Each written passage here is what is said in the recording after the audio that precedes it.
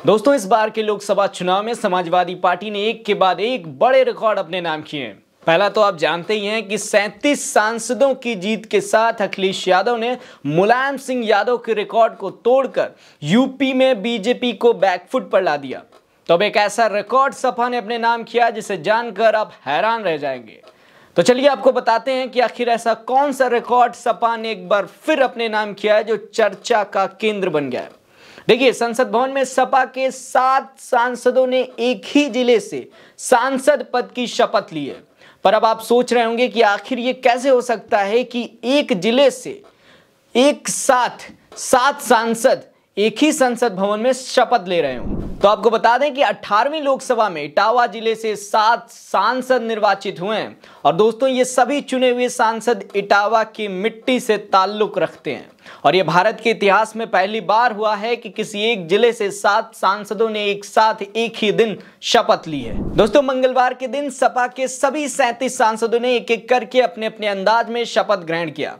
शपथ ग्रहण के दौरान किसी ने जय समाजवाद, जय भीम तो किसी ने नेताजी मुलायम सिंह को याद करते हुए, किसी ने संविधान जिंदाबाद का नारा लगाते हुए शपथ ग्रहण किया। पर खैर दोस्तों, अब हम उन सात सांसदों की बात करते हैं, जिन्होंने इस बार शपथ ग्रहण की। इन सात नामों में से दोस्तों, पाँच नाम तो समाजवादी पार्टी अखिलेश यादव के परिवार के जो इटावा से ताल्लुक रखते हैं, जिसमें कन्नौज से जीत हासिल करने वाले सपा मुखिया अखिलेश यादव मैनपुरी से जीत हासिल करने वाली अखिलेश की पत्नी डिंपल यादव। तो आजमगढ़ से निरहुआ को हराने वाले धर्मेंद्र यादव, बदायूं से जीत हासिल करने वाले सपा के राष्ट्रीय महासचिव शिवपाल सिंह यादव के बेटे आदित्य यादव और फिरोजाबाद से जीत हासिल करने वाले अक्षय यादव का नाम है।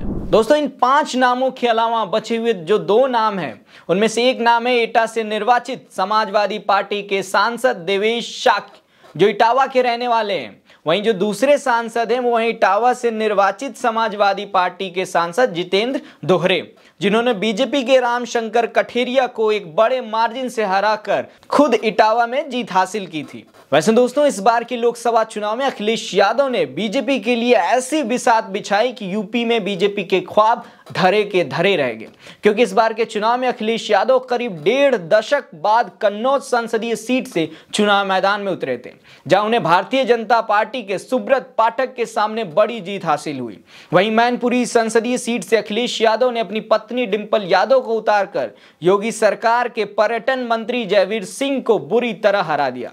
इन सब के अलावा दोस्तों, अखिलेश यादव ने नामांकन के आखिरी समय तक ऐसे प्रत्याशियों को मैदान में उतारा जो जमीनी नेता के साथ साथ पीडीए के फार्मूले पर बिल्कुल फिट बैठते थे। जिसका परिणाम यह हुआ कि यूपी की 80 सीटों में से 37 सीटों पर सपा को बड़ी जीत हासिल हुई और बीजेपी सरकार अपने बहुमत से कोसों दूर रह गई। वहीं दोस्तों, संसद भवन में जब सपा के सभी 37 सांसद यूपी में जीत हासिल करने के बाद शपथ ले रहे थे तो उन्होंने अपने भाषण के अंत में, शपथ के अंत में जोरदार नारा लगाया। किसी ने जय समाजवाद का नारा लगाया तो किसी ने जय संविधान और जय भीम का नारा लगाया। देखिए सबसे पहले डिंपल यादव की बात कर लेते हैं। डिंपल यादव ने अपने भाषण खत्म होने के बाद जब उन्होंने शपथ ग्रहण कर ली तो उन्होंने कहा, जय समाजवाद, जय संविधान। जय हिंद, जय संविधान। जय भीम, जय समाजवाद। वहीं सांसद अक्षय यादव ने नेताजी अमर रहे, जय समाजवाद, जय भीम का नारा दिया। इसके अलावा एटा से निर्वाचित समाजवादी पार्टी के सांसद देवेश शाक्य ने शपथ ग्रहण के दौरान नमो बुद्धाय जय समाजवाद, जय भीम का नारा देकर समाजवादी पार्टी के पीडीए फार्मूले का ज़िक्र करना बिल्कुल नहीं भूला। क्योंकि सपा अच्छे से जानती है कि इस बार का चुनाव उनका पीडीए फार्मूले पर ही निर्धारित था, और इसी पीडीए फार्मूले ने बीजेपी को बहुत नुकसान पहुँचाया है। दोस्तों, इटावा से निर्वाचित समाजवादी पार्टी के सांसद जितेंद्र दोहरे ने भी शपथ ग्रहण के बाद एक जोरदार नारा दिया। उन्होंने कहा कि जय भीम, जय भारत, अखिलेश यादव जिंदाबाद इंडिया गठबंधन जिंदाबाद। साथ ही इन नारों को देते हुए उन्होंने पीडीएफ फार्मूले की याद दिला दी। दोस्तों, ये बात तो सच है कि इस बार के चुनाव में सपा बेहद मज़बूत होकर निकली है। और बता दिया कि यूपी की राजनीति आने वाले चुनाव में किसी भी करवट ले सकती है। खैर, आज के लिए इस वीडियो में इतना ही। मेरा नाम अरुण चौरसिया। मिलते हैं अगले वीडियो में। तब तक के लिए नमस्कार।